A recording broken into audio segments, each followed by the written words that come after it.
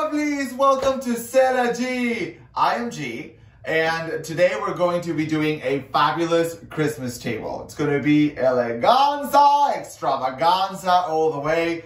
I'm going to show you several ways to do your table depending on what it is that you're going to serve. And you can choose to take whichever works best for you. All right, let's get started.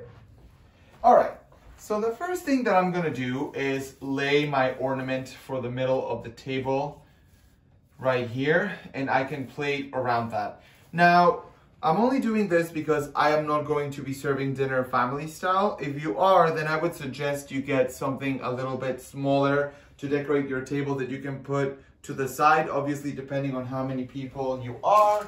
We could do something like this.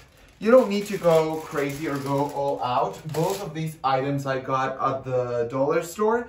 Uh, this one was around $15 and the other one around same price. Uh, and they work, you know, remember you're only gonna use them once a year, so you don't need to go crazy. So the first thing that I like to do when I'm setting a table is flatware or plates. So the first thing is my entree plate or main course plate. Usually I like to do a thumb between the plate and the edge of the table. In this case, however, since this uh, central piece for the table is so large, I'm going to go to the edge of the table so that I can get a bit more space to set up my glassware. Okay, so we're going to go here and then we're going to go ahead and set your appetizer plates. On top of this, you're going to set up your napkin. In this case, I used linen napkins. You don't have to though. If you only have paper napkins, just fold them in half and put them on top of your plate and that will work.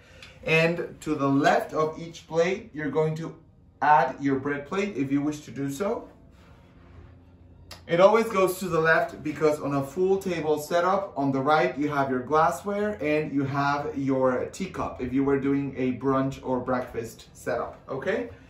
Now, after that, we're going to do silverware.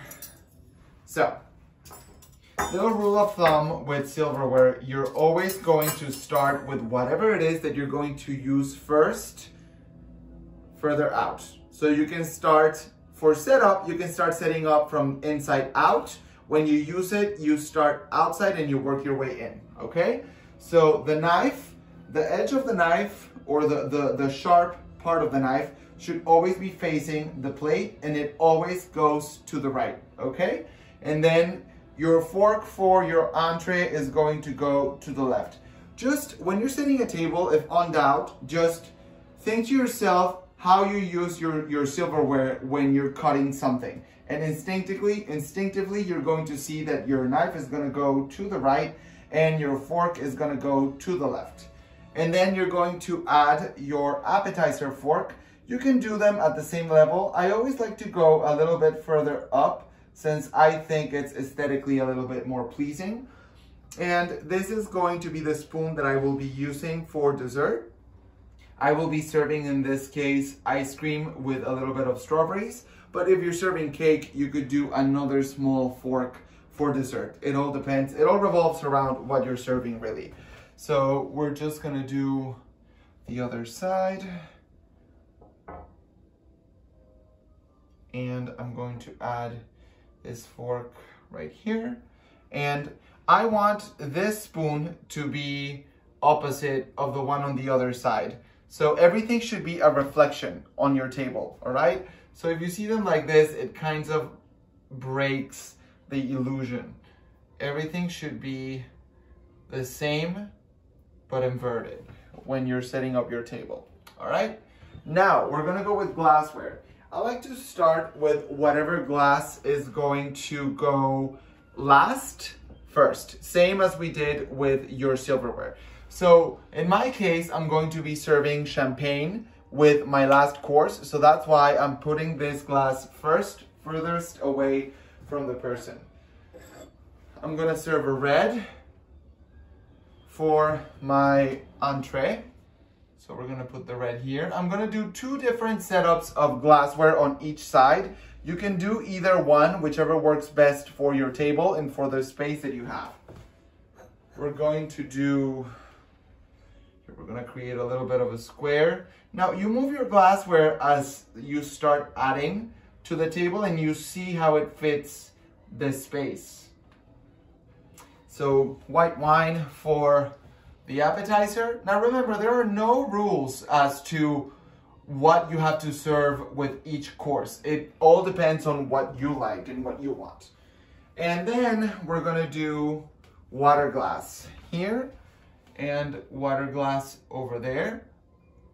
So typically a lot of people like to set up their glassware in a straight line or you can set it up kind of like all pushed together like this. I like to look for ways where the glassware or whatever it is that you're setting on your table is aesthetically pleasing.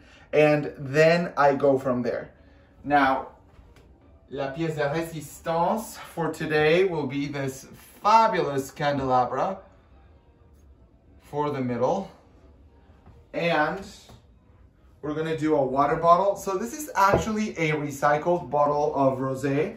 I thought it was a very pretty bottle once you removed the label because of the engraving it has on the actual bottle.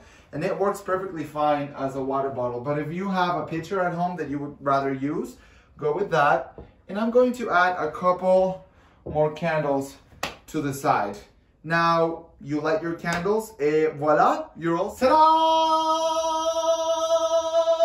I hope you liked it, and uh, I hope you have a fabulous Christmas with the people you love. I'm very grateful to have started this. I'm very grateful that you're taking the time to watch and follow. And I truly, from the bottom of my heart, hope that this was helpful in any way. Thank you, thank you, thank you so, so much. Please don't forget to follow and subscribe. And uh, that was C'est La G, darlings.